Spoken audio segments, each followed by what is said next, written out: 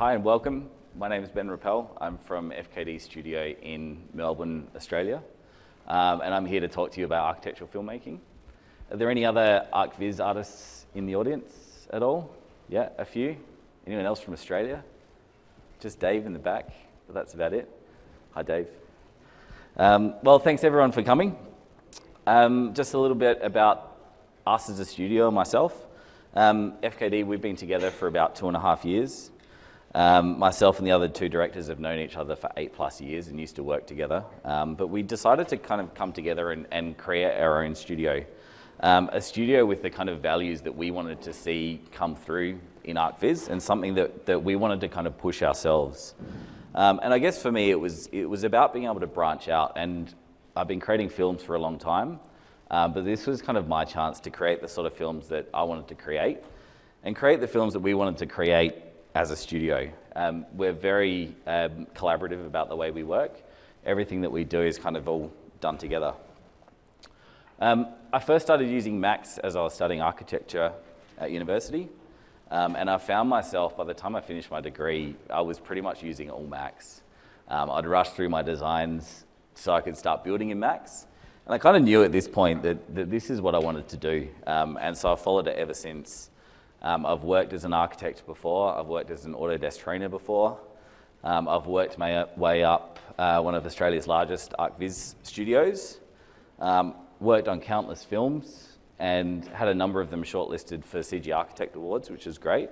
Never won, unfortunately, but that's, that's the breaks. Um, but I was also lucky enough to work on the Now and When project, which was for the 2010 Venice Biennale.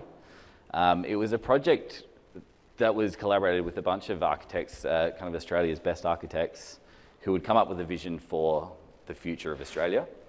Um, and then we took their designs and kind of put them into, into 3D stereoscopic VR animations.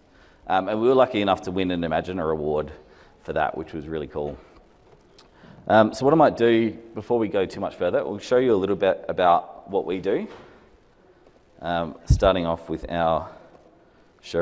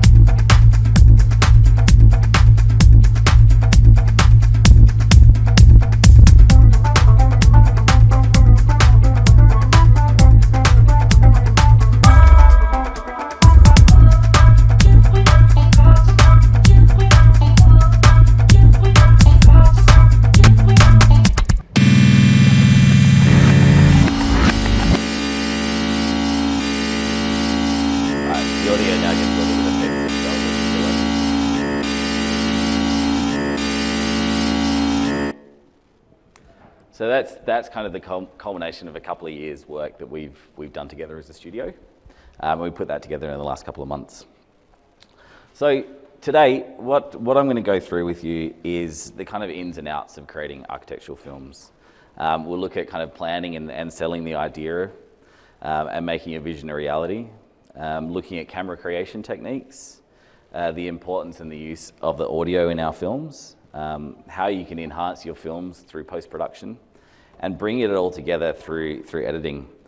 I hope from this that you guys will walk away from it understanding my process when it comes to making films, because everyone's got their own process, and I hope you can kind of use that to develop your own process in the future. So, how do you get into making architectural films? Well, for me, it wasn't really something that I'd set out to get into. Um, my love is for architecture, even though I wasn't a practicing architect. Um, I've always loved architecture, and that's why I studied it. But what I found is that I actually love the form of architecture um, more than the actual process.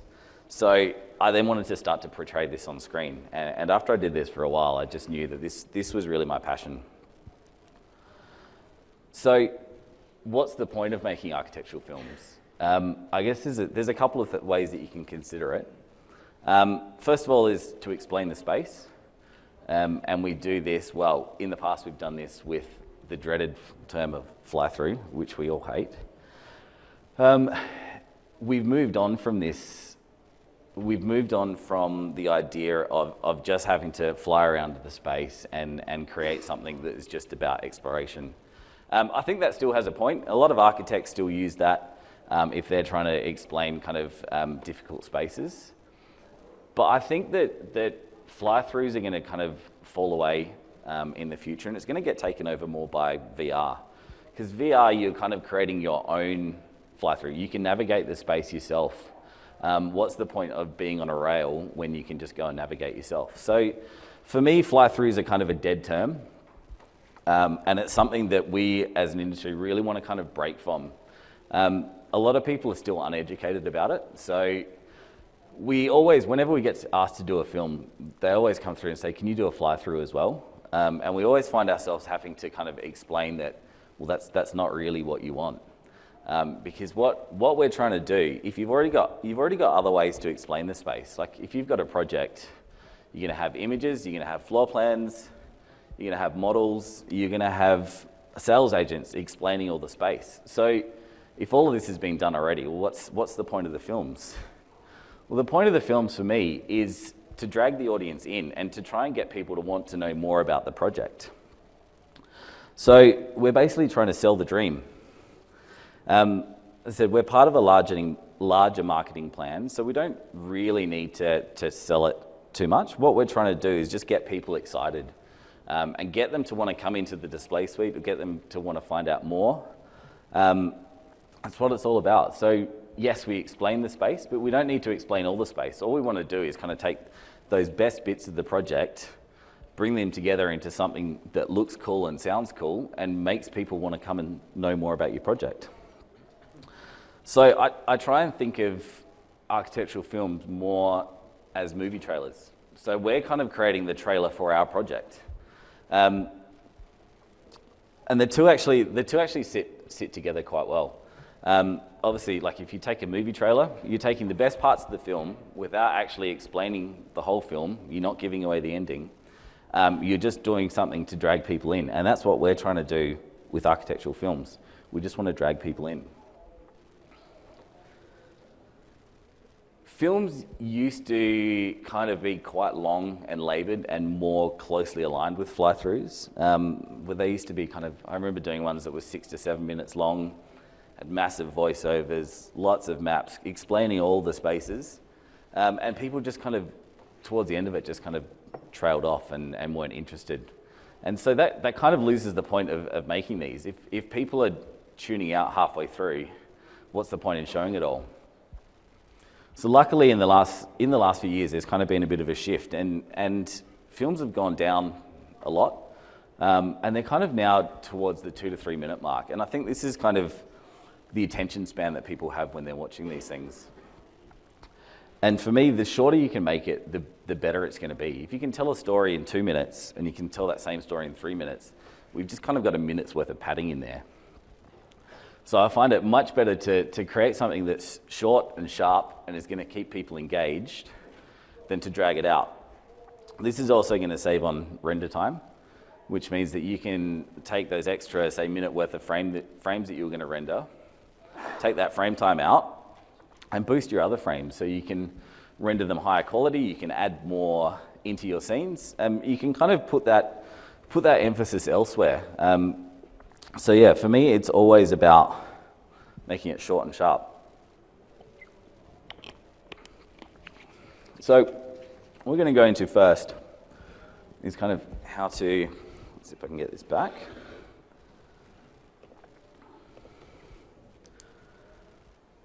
So, the importance of planning your project out.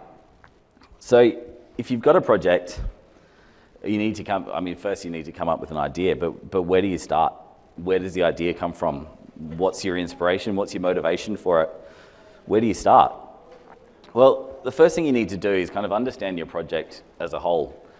If it's a large project, you're likely going to have a big marketing team on it. There's likely already a brand being developed that's been developed before you've come on board. Do you know where your film's going to be displayed? Is it just going to be on a website? Is it going to be teasers for social media? Um, or is it going to be in, in a display suite? These are all things that can help you understand where to start with your project. So the first thing I like to do when coming up with an idea is, is understand the brand itself, understand the brand of your project. Because as I said, this is something that is likely going to be made up before you come into the project. And you kind of need to be a part of it. As I said, we're, we're part of an, a much bigger thing. It's not just all about the film. The film is one part of the collateral for this project. So for me, you need to be involved in it and you need to reference everything that's going on. There's no point in going off and doing your own thing and making something amazing, but then it doesn't sit with your project. And then your client's probably going to be annoyed because they're going, well, what has this got to do with me? So you need to kind of fit within, within everything else that's happening. Um, the project that I'm going to go into shortly is, is kind of a good example of this. Um, the project had a really strong brand identity. Uh, and our job was, was just to take these elements and kind of bring them into, into our film and bring them to life on the screen. So the first thing I did was talk with the architects, talk with the brand designers, and find out their motivation. So the architects, the architects had a, this big um, emphasis on this, on this brand pattern that was created by the branding agency. The architects took that brand pattern and they put it all through their architecture. They had it in metal screens, they had it in lattice work, they had it in wall panels. Um, it was kind of all through. The branding agency had it obviously all through their print collateral, um, but they also had it in the display suite, on the websites. It was basically everywhere. So I knew that, well, this is the thing that was going to link our film together, and this is what we needed to be our hook. So what we did was we brought that same brand pattern into our film in different ways. We, we used it in transition overlays, um, we used it in focusing it on the frame, um, and we also used it in, in things like shadows on the ground. So it's all throughout the film. It's not always in your face, um, but it's always there so that when people are watching it, they should draw back to the fact that it's part of this bigger picture. And that was, that was what we hoped to achieve, and, and that's what I think we set out to do. But if you don't have a good hook to start with, well, how do you start? Um, as I said before, it's great to, to be as creative as we want, but as I said, we need to be a part of a bigger picture. So I always say that you should collaborate with others. As a studio, we're always collaborating together. So I'm not just making a film independent from everyone else. We're making it together as a studio. But as your project, you should consider everyone a part of your studio in this case. You want everyone to be involved in it. And if you get people involved in it at the start, they're more likely to be receptive to your ideas because they feel like they've made some sort of impact into it. Even if they haven't really, they've still been involved in the process. And this is just going to make your job easier in the long run.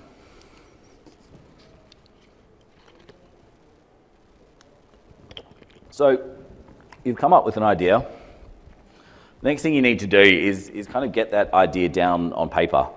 Um, and, and in that way, we start to create our script. So the architectural script is, is a bit different to your kind of film or TV script. Um, it's more of a, I guess, a synopsis of your film as a whole. So obviously we don't have characters that need um, voice lines and all that sort of stuff. So it's quite different. It's more of a synopsis. Um, so I start this process by just jotting down some notes, some ideas that might pop into my head for it. And generally, one idea will then spawn another and spawn another. That last idea might inform the first one, which was wrong, and then I'll change that. So I try and keep this quite a fluid process um, because you're likely going to have to come up with a few ideas before you get something across that, that your client's going to like. So keep it short and keep it sharp, um, and then just make it a little bit easier down the track. So if you've got your idea and you've got it, you've got it signed off, um, you need to kind of put that into a presentable script. So something that people can read through and, and understand what you're, what you're going to create. Um, if you've had a chance to look through the class handout, there is a sample script that we've got. I do have it on here, but it's really hard to read. Um, so hopefully you've got that. Otherwise, I'll read through part of this as, as we're going. I'm going to kind of break, it, break down how we come up with these scripts. So what you can see across the top, I don't know if that works. No, that doesn't work. Um, so the first thing we've got is our overview. This is basically a quick synopsis of your film. It's something that people can kind of read in, in 10 to 15 seconds and get an idea of, of what your film's going to be. Some people that you're going to be presenting to, this is likely all that they're going to read of, of what you've got. So keep it short and sharp and, and make sure you're kind of getting all those main points across that you want to get. Then I break it down into a number of columns. So I've got through here, I've got title, I've got vision, and I've got description. So title is basically just sectioning up your film, creating chapters for your film. Obviously, at the end of the day, your film needs to be a cohesive film. You shouldn't see these sections come through. But the point of putting them down in this time is, is to make sure that you're covering off everything that you need to cover. And this will also help those people that you're selling it to. The next one we've got is vision. This is basically just what you're going to see on the screen. Um, the different points. So as you can see, I've kind of broken it down into 3D and film. The reason I like to do this is because you've got your, your 3D guys that are making your content for you.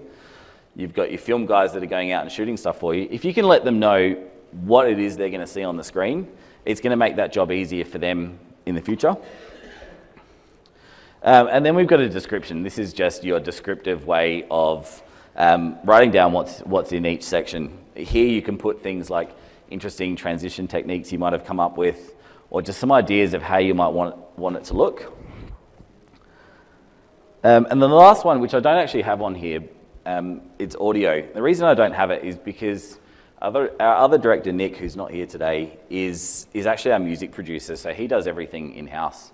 So we're lucky enough to be able to bounce ideas off each other all the time and come up with our audio and edit together. Um, but if you don't have that luxury and you're employing a music producer, you kind of need to give them an idea of, of what you're thinking. Because they're going to kind of draw, they need to draw from you and you need to kind of play off with them. So if you can, if you can create an audio section you're kind of describing things like the ebb and flow of the film. If you, if you want a quieter section or a louder section, or you want it to crescendo, you want the beat to change, write those things in there. So they've got an idea of, of where they can kind of start and they can come back with a response to you. Um, so as I said, I don't include it in here just because we, that's the way we work, but it's a great thing to do if, if you don't have that on board. So the thing that goes hand in hand with the script is the storyboard. Um, it's basically a visual representation of your script. The audience should be able to refer back to both. You're going to have people that are more comfortable with words and others that are more comfortable with pictures. So if you can have both of them there and they can relate to each other, um, then it's just it's easier for everyone to understand it. Um, if you are doing it this way, what you need to do, and we'll go to our sample storyboard, you want to keep everything the same. So I've got my sections the same. Um, the order's the same. People should just be able to read through these frames um, and understand and read back to that script and make sure that they're in line with each other. Um, the other thing that I do, as you can see underneath it, we've kind of got these section lines. So this is what's breaking up those different sections that you've come up with. Um, and the reason I kind of do this is, is to indicate timing. So rather than saying the intro is going to be 30 seconds long, the amenities is going to be a minute long, I just do it in terms of frames. So something that's got four frames is obviously going to be a lot shorter than something that's got, say, 15 frames. By doing it this way, you, you make it easier on yourself because you're not going to get bogged down in numbers. Um, and your client's not going to get bogged down in numbers. If they see, well, my intro was supposed to be 30 seconds, but it's only 10 seconds, where's the rest of my intro? Well, you realize that it didn't need that long, so you've made it shorter. But that doesn't mean that they'll understand that. So I find it better to do it this way. You're not as tied down. You've never seen it on screen yet, so you don't know if that timing is correct. It's better just to wait it this way. So this one had three pages of storyboard. Um, and what I'm going to do is just quickly read through a couple of these descriptions of the script and how that relates to the storyboard. So if we look at the laneway culture section, what I've written here is feature the desirability of the atrium area with both wide format and showing, showing the scope, to show off the scope of the space, and in closer detail to show the beauty of materiality and light through the space. Close-ups on the ground as sun time lapses through, look up through the lattice work with the sun flaring towards us. To bring the area to life, we intercut atrium space with film of South Yarra culture, cafes, fashion, use of talent to bring human element into the space. Talent riding push bikes, walking Chapel Street, Toorak Road, sitting at cafes, etc. So really what we should be able to do is look at that. You can see in the amenity section we've got We've got the atrium space in close up and, uh, and mac- uh, sorry, macro and micro. We've got the people cut in and interspersed through those, so it's giving it a bit more life. Um, we've got the bike riders, we've got the cafe culture, we've got the fashion. So it's, it's just making sure that those elements are in there. The stuff that you've written down is up on screen as well. So definitely have a look through in the handout. I don't want to go through it all, otherwise we'll be here all day. Um, have a look in the handout have a look on our Vimeo page. Um, that's got the final film, and you'll kind of see that the script, storyboard, and final film are actually quite close to each other. So what we'll do is have a look at how this one turned out.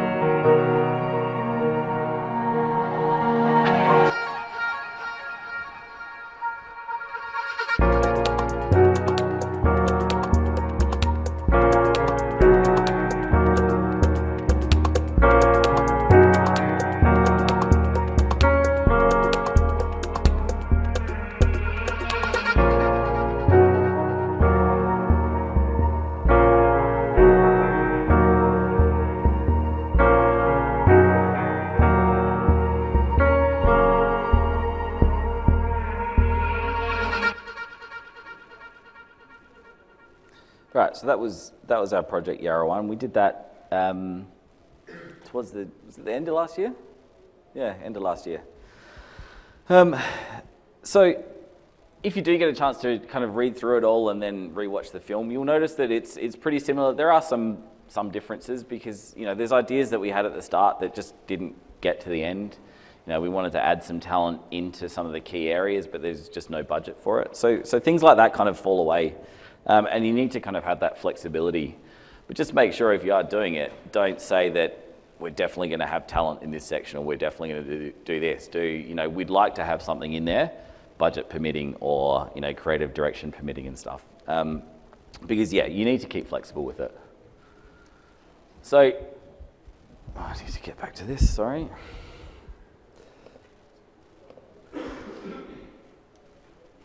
So we've got we've got it signed off. Um, the next thing you need to kind of do is, is start to create your animatics. Um, and we kind of go through a few different versions of animatics. The first one we start with is, is what we call a storyboard animatic. This is where you literally just lay out your storyboard images um, to work out your overall timings for your different sections. Um, at this point, you want to kind of keep your audio fairly, fairly loose. Um, if you've got someone that you're working with, it's almost better to get kind of chunks of audio from them that you can then go and dumbly edit into your um, animation. Um, and then that way you can kind of inform your sections and work out you know, which, which sections you need to see for how long. Um, you can then just give that back to your music guy and they can tidy it all up for you. Um, but it's this kind of back and forth working that you need to have happening at this point. Um, this is generally just an in-house tool. Um, I wouldn't show this to people that you're not working with. What we use it for is just to kind of start to generate some ideas of how we want this film to come out. Um, if you start to show this to people outside, they're probably going to sit there they're going to get bored by it because it's literally just images on the screen with some dodgy audio behind it. Um, and they may just start to kind of question what, what you're trying to do. So I'm going to show you an example of that from another project that we did. I'm not going to make you watch the whole thing because you want to claw your eyes out by the end of it.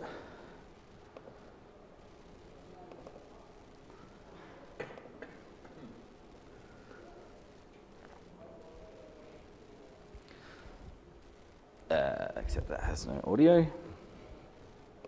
Let's try that one. So in this case, I have actually gone and added um, timings to it. But again, that's because we're just using this in-house. No one outside of, of our studio is going to see it. Um, so it doesn't really matter. What we're just trying to do here is just say, well, this is roughly what we're looking at.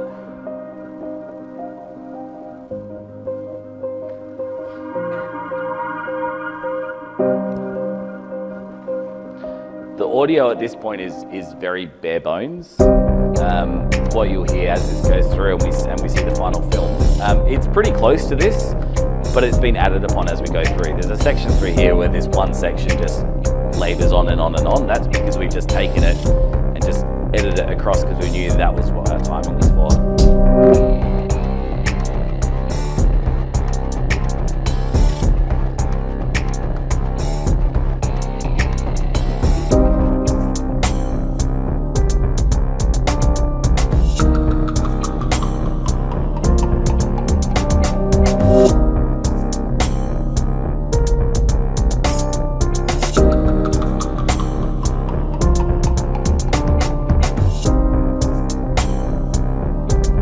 So it's just kind of repeating and repeating. So I'll just kill it at this point. So what we've done, we did actually create the full thing for this. Um, and this was just so we knew, well, how long do we need for our interiors? How long do we need for our intro? How long do we need to show the building for? So we just kind of get this idea of timing. Um, and once we do that, and we're happy with it, we start to then move on to what we call the presentation animatic. This is your kind of main animatic that you're going to be working through um, as you're creating your film. Um, and it's going to be it's going to be more and more refined through your process. So at the start, it's going to start off as your storyboard animatic, and what you're going to do is start to get rid of those storyboard elements and start to bring in the animated sequences that you have. So whether it be your animated cameras or or your film, depending on when they come in, and when you get them, you start to kind of overlay them, and then this will again start to just re refine those timings even more. Um, what I like to do though when I do um, the presentation animatics and moving forward is make sure I'm always still rendering my scenes. So a lot of people will just use wireframes to get an idea of their timing. Um, while this is fine, you can see the motion, you, you're not kind of getting the emotion and the mood out of the scenes because lighting plays such a big part and, and materiality plays a big part. So I find it better just to, to render everything super low res. I try and keep everything kind of under a minute a frame so I can just bash out as many cameras as I need to do and get them back quickly. Um, it's just, it's better and, and it's going to be easier for you to kind of explain your film. If you have a, a full animation with worth of wireframes and you show that off to people, they're not really going to understand it. People that don't do ArchViz or aren't, aren't um, up to speed with CAD and stuff are really not very good at reading wireframe. Um, so yeah, so what I'll do, I'll now show you the presentation animatic. This one, we kind of went through, at this point, we went through two of these, depending on you know, how many times you need to show it off to your client or, or how much kind of iteration you've got along the way will depend on how many of these you create. In this case, it was two. And what I'm going to show you is the final one that we got sign off on so we could then go to full production.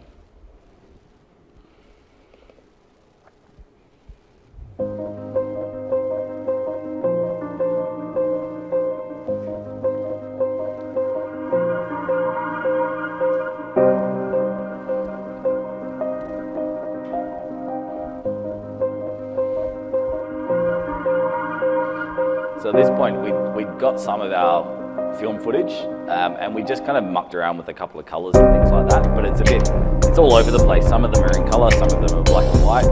We're still kind of trying to work that out.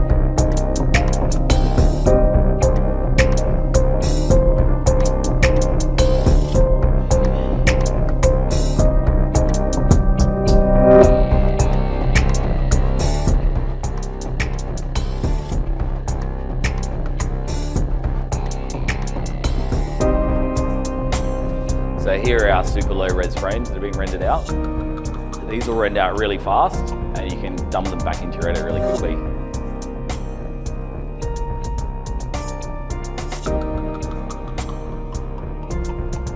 This space hadn't been done yet, so it's still in, sto in storyboard. And these areas had been rendered out a little bit more, but they still needed work.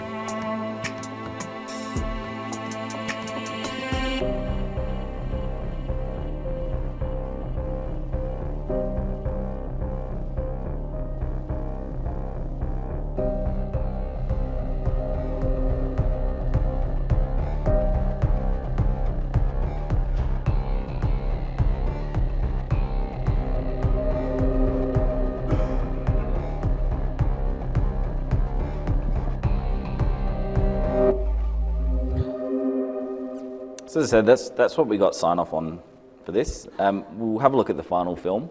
Um, there really wasn't much of a difference between the two. Uh, a couple of scenes changed. Again, the audio was still being worked on.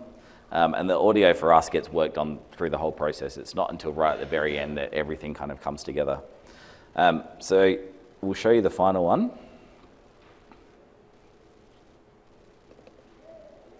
And you'll see where it all ended up.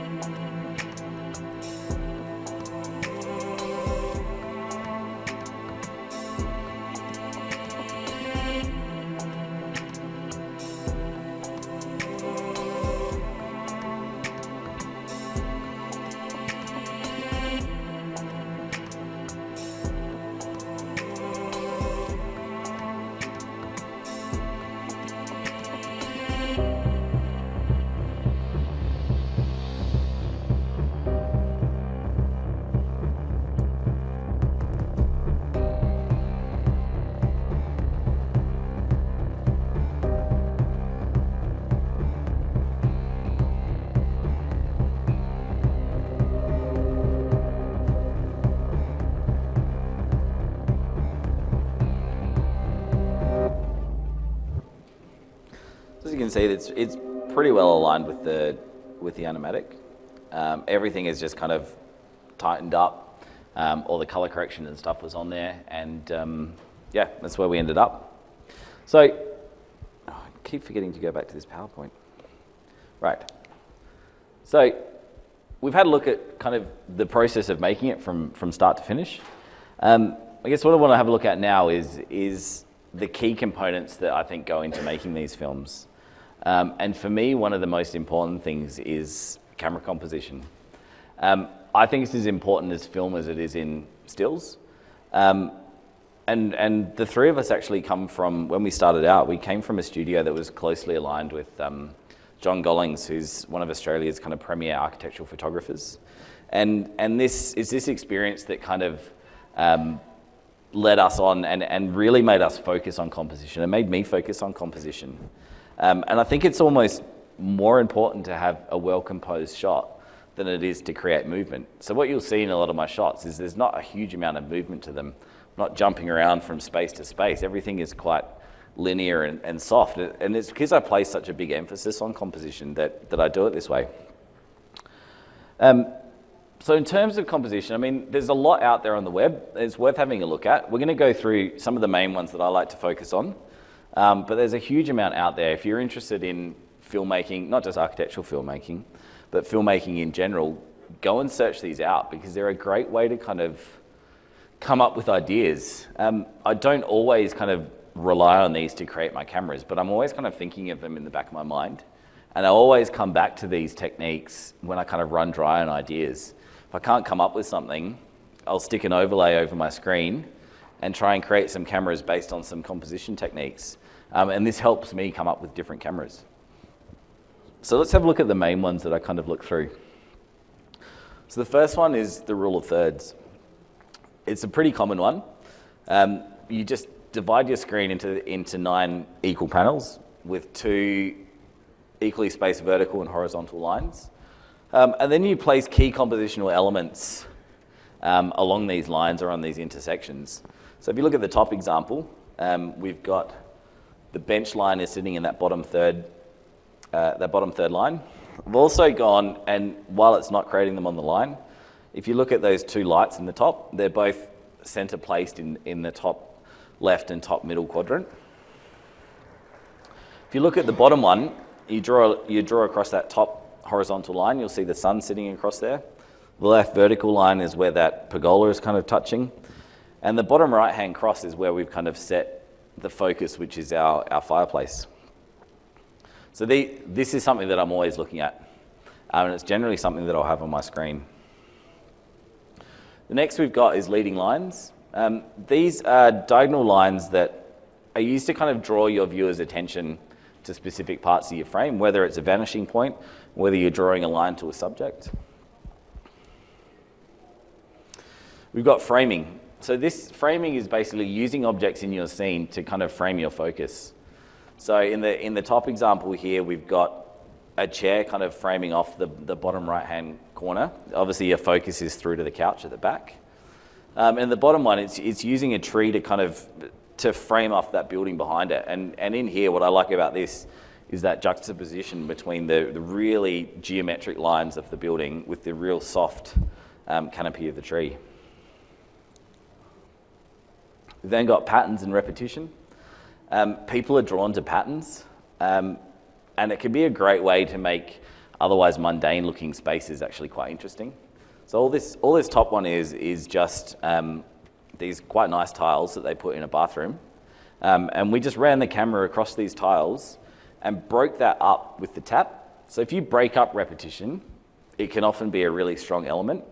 So you can just have just have the tiles running across, break that up with something like a tap, and it kind of creates something a bit more unexpected and it draws people in. And we've got symmetry. So people generally find symmetrical objects more beautiful, um, and it can make architecture really powerful. These buildings, in this case, are not the most attractive buildings in the world, but if you're looking up a gun barrel between these two buildings, it's a really powerful shot. Same with looking dead straight on this building. It's really rigid, it's strong, um, and it just kind of draws you in. So I'm going to go through and show you in a minute some of, the, some of these techniques in use in our films. Um, but first I want to kind of go into adding animation to your objects. So as I said, because our, because our scenes are, are quite linear and they're quite soft and slow, you need to add animation somewhere. You need to add some motion somewhere. So I prefer to kind of do that in the scene.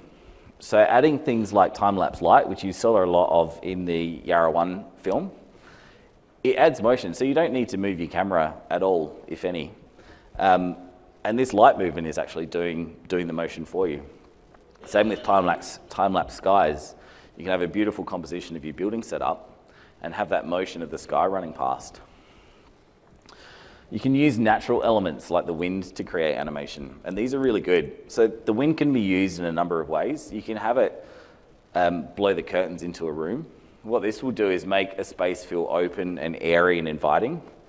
Um, you can have the trees animating in the wind.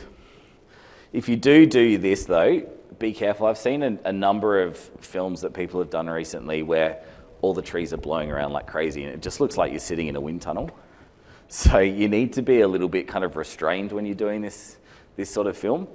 Um, don't make everything go crazy. Just remember, you just need that little bit of background motion to make it feel like you're not sitting in a freeze framed world. Um, or you can have something like leaves blowing on the ground. So if you've got a, a panning shot going across that's quite slow, and these, these leaves blow across the ground in the opposite direction, you're kind of creating the movement that way, and that's drawing people's attention. If you don't have the budget to do a lot of this stuff, in 3D. There's a lot of animation that you can do in, in post. Um, you can do things like adding the time-lapse skies, adding dust, adding lens flares, um, 2D animated birds going across the scene. Things like that can bring life to you without actually costing you a lot of money. Um, but just try and be careful and use things where, they, where you feel they should go. Like you don't want to have an interior scene and have all this dust flying through because it's just going to make your scene feel like it's dusty and dirty and old. But if you had it sat in an, a beautiful, nice park shot. You're sitting low near the grass, you're looking up at the bushes, and there's these little dust motes flying around. It's kind of giving a bit of life there. You can imagine them being the little insects that fly around in the grass, or, or just some, some slight dirt kind of flying across the scene. It, it has a place there. So you need to, you need to kind of pick your place where to, where to put this animation. As I said, you don't want to go overboard, you just want something there to make it look interesting. So we'll have a look at a bit of our camera composition breakdown. Um, and in that, you'll notice how we've kind of used animated objects to combat that.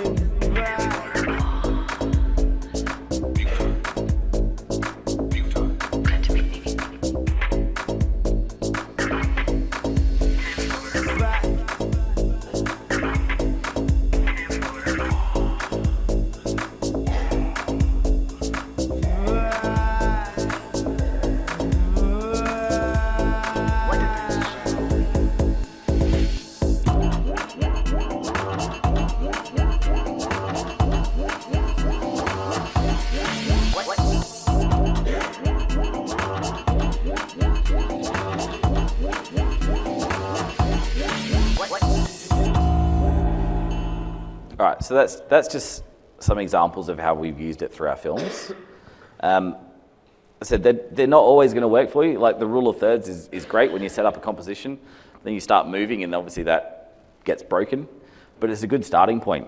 You don't need to kind of stick to it religiously, but it's nice to kind of have there to, to think about. So that brings us to our next bit, which is how do you get inspired to make cameras? What is your inspiration? For me, I like to draw a lot of comparison to, to film and TV and, and pick up ideas from there. I'm guessing most people would have seen Breaking Bad here, and if you haven't, then go and watch it. Um, the way that they, apart from being a great story, like their camera composition and the way that they dealt with light and color in that in that show was just amazing. Um, and it's, it's looking at things like this that, that are a great way for you to kind of come up with ideas for yourself. Um, other things like the, the new Blade Runner, if you've seen that, the way that they use time lapse sun through, place, through spaces to kind of create movement in architecture is amazing. Um, Aeon Flux from 2005, if everyone's seen that, for, I think Charlize Theron was in it. Um, the film was not great, but the architecture in that is one of the best architectural films I've seen. Like the way that they use their set design was just amazing, and it was great to watch just for that. If you haven't seen it and you're into architecture, I'd, I would watch that. But work out, I mean, work out what you like. I mean, for me, I like real world cameras. So I set my, I set my cameras up as though it's in the real world. So dollies, zooms, pans, lifts, all these sort of things are kind of my staple camera. But obviously, if you just have slow motion the whole time, it, it can get a little bit boring. So it's good to go and look for more interesting techniques to go along with them and to break this kind of pattern up. So things that I like to try and play with, the trombone zoom or the dolly zoom is a great one. It's a really hard one to pull off in architecture. Uh, does anyone not know what a dolly zoom is? No? Cool, that's good. Um, it can obviously make, it can make people feel a bit unsettled. Um, so use in architecture is quite, you need to be quite minimal with it. Um, but using it as a kind of secondary motion can be a nice way to kind of create something unexpected. So you could be having a lift coming up your scene, but this slight change in perspective can make people kind of really think about what they're watching. Um, the other camera that I really like to use is what I call the gravity camera. And all that is, is a dolly back through the space and a rotation on, it, on its local z axis. What this does is kind of creates this sense of weightlessness and freedom in space. So while you might not have the biggest space, this sense of freedom kind of makes it feel more open and kind of larger than it is. Um, as I said, I think it's a great way to use to kind of break up your more traditional camera techniques. But what I would suggest is just find out what you like. Like your inspiration should come from what you like. I create these in the way that I create them because that's what I like to do. And if you guys can do that as well, if you can develop your own techniques, then just develop them from, from what you find and just create your own style. There's a kind of fine line between, you know, referencing something and plagiarizing something.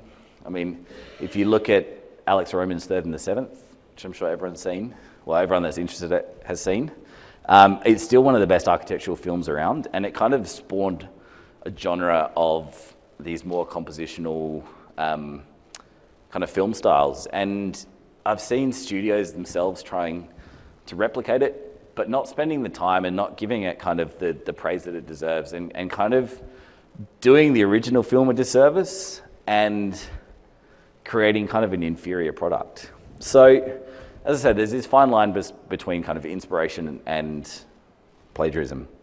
Um, so be inspired by stuff, but just remember that you want to make something that's your own. You don't want to make something that's a copy of someone else's. There's no fun in that. Um, and people generally won't like it either.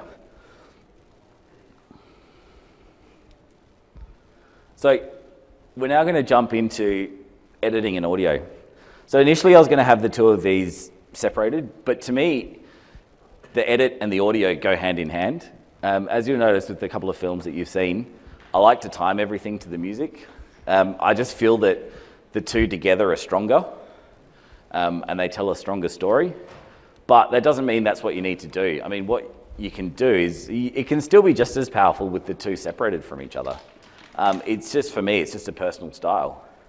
Um, you can do things like having it in time, taking it out of time, bringing it back into time to kind of create, again, create these unexpected moments between, um, between the two in your film.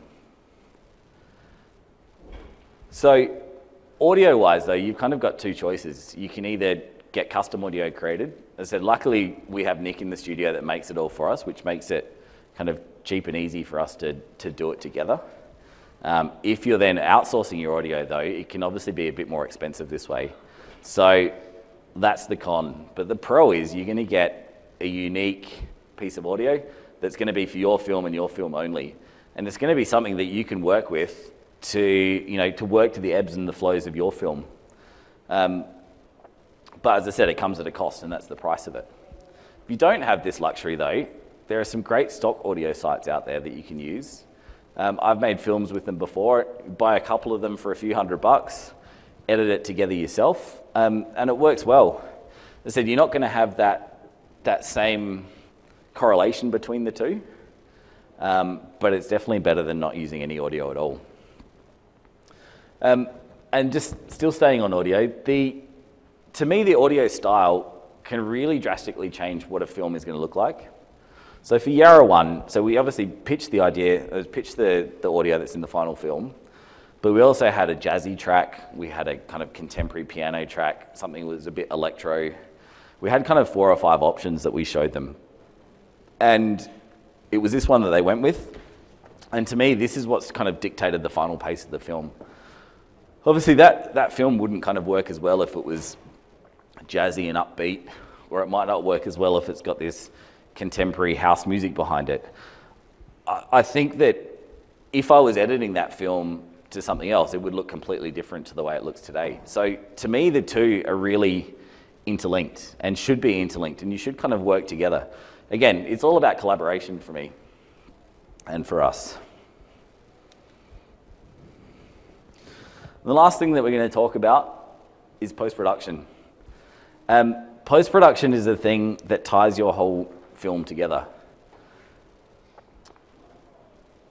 If you can afford to have you know, a separate color grader, that's great. They can be expensive, but you don't necessarily need it. You can do all your color grading in house. Um, we do all of our stuff in house. Um, but the reason that you do it is because you, you want everything to sit within that same kind of color space. There's nothing more jarring than going from, I know this is an extreme example, but if your whole film is shot at night and there's this one daytime shot stuck in the middle of it, well, it's just out of place. The same can be true for just, I mean, just normal scenes. If you have these beautiful blue sky scenes, then you've got this really dark interior, well, they don't kind of sit together.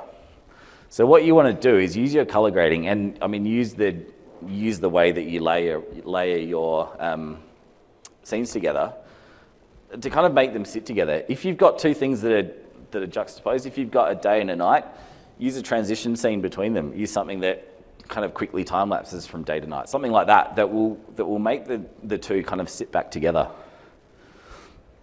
And I think you should always think of your 3D footage and your live footage together as well. The same, they should be color graded together. Um, ideally, what we want to try and show is that we've got this one cohesive scene or one cohesive film that some people aren't going to be able to tell what's 3D and what's real. So you obviously want them to sit the same next to each other. So what I've got here um, is just a little, a quick breakdown on, on how I kind of set up my post files. I do all my post work in After Effects. Um, I know there's plenty of other stuff out there. It's just this is what I've learned over time, um, and that's what I've stuck with. But what I'd say, and it, and it rings true to any program, even rings true back to, back to Max, is, is try and keep everything layered and ordered in a way that you're going to be able to find it. Name your files, name your layers, color your layers, do all these things. So if you come back to it at some point, um, you're going to be able to say, well, this scene is definitely, this part is definitely in effect because it's red. Um, it's also called motion blur.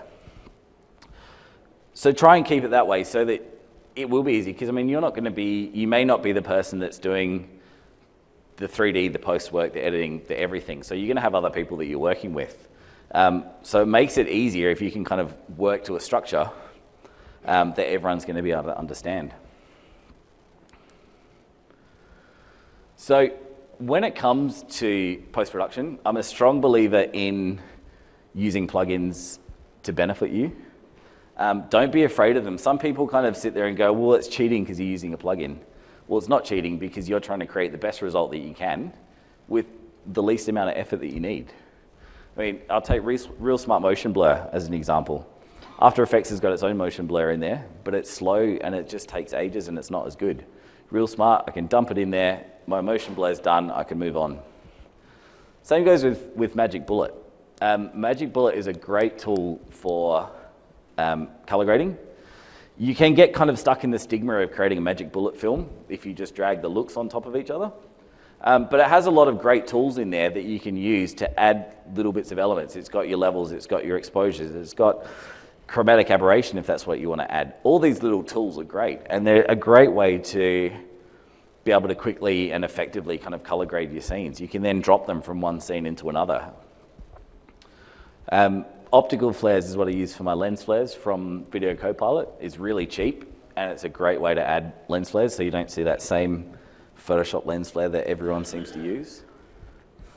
Um, depth of field. So depth of field we use a lot in our scenes. Uh, we use um, software called Frischluft for that. Um, it creates kind of bokeh depth of field really well. Um, again, it's something that you can do in After Effects, but it's just not very good. Um, so I'd prefer to get pay that a little bit of money um, and get that software that's going to do it for us. And the last one I use a lot is, is Twixtor, which is used for ultra slow-mo stuff. Uh, we used that on the Obsidian film that you saw earlier. Um, because unfortunately for that, they didn't have the budget for a high-speed camera, and they wanted all, all the talent to be in slow motion. Um, so we were able to Twixtor it down from, say, 25 frames a second um, down to like 150 frames a second. Um, and it was great. There was no tearing, there was no nothing. Um, Twixtor is great for film, but 3D it still kind of struggles with a little bit. Mainly because you've got, your lines are kind of too sharp and it doesn't really know how to handle them all the time. So you'll get some tearing in that. But for film, it's great. Um, I know we're running out of time, so just quickly, the last kind of thing that I wanted to look at was the, the render elements that I use. Um, these are great ways to kind of add those little bit of extra details back to your scene. Things like lighting, reflection, refraction passes can be used to add more stuff. So you want to boost your lighting, add your lighting pass. You want your stuff to be more reflected, reflective, add your reflection pass.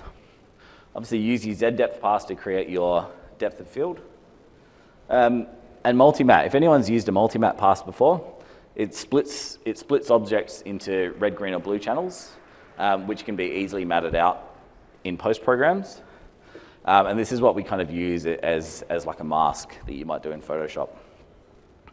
So what I'll do and what I'll kind of leave you with is a breakdown of the post-production from some of our scenes. So you can see how we layer them up. What I try and do is keep things rendered as close to the final result as you can. Um, but obviously everything kind of needs enhancement. So some of these will only have a few layers on them. Some of them are quite um, heavy though.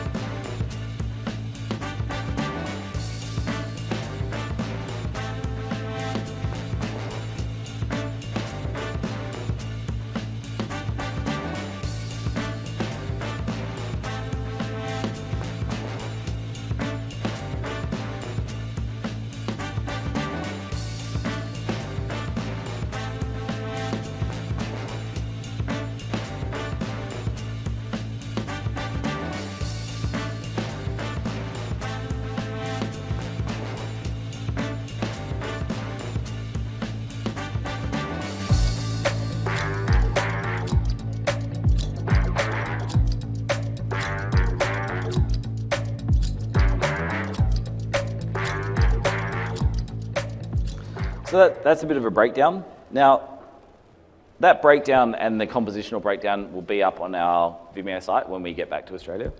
Um, the animatic stuff will not. Um, that's just for your eyes only here.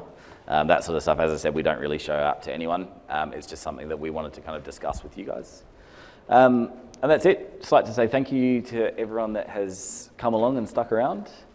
Um, I hope you've all kind of got an understanding of I guess, my process when it comes to filmmaking. Um, and that kind of inspires you to kind of create your own process and, and go out there and make the sort of films that you guys want to create. So thanks again. Enjoy the rest of the show.